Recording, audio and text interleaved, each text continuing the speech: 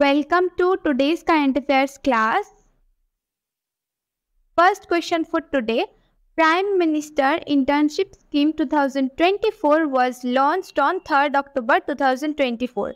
How much stipend will be given every month under the scheme?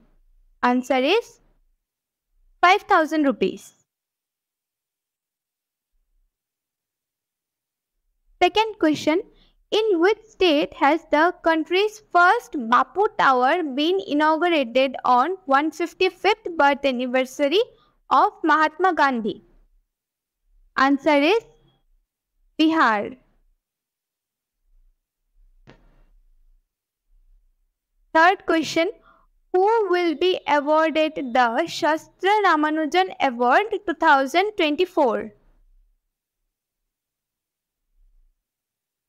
Answer is Alexander Dunn. Fourth question In October 2024, ICC has banned which country's player Praveen Jayawickrama? Answer is Sri Lanka.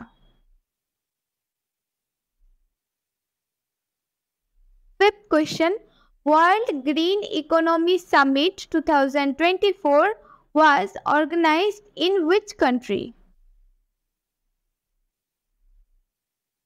Answer is United Arab Emirates. Sixth question which of the following institutions is organizing the Kautilya Economic Summit 2024 in association with the Ministry of Finance? Answer is Institute of Economic Development. Seventh question In which state will the National Center of Excellence for Animation visual effects, gaming, comic and extended reality to be set up? Answer is Maharashtra. Eighth question. Recently, Ram Singh, Saugat Bhattacharya and Nagesh Kumar have been appointed as the members of the MPC. What is the tenure of the members of MPC? Answer is 4 years. Ninth question. Which country is going to host the second edition of the Global Chess League?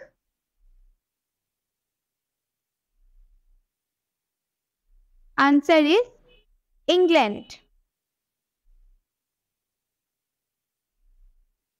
Tenth question. SASTRA Ramanujan Award is given in the field of dash.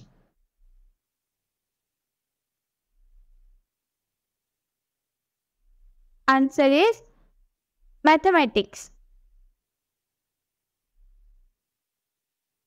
Now come to the Tripura and Northeast section.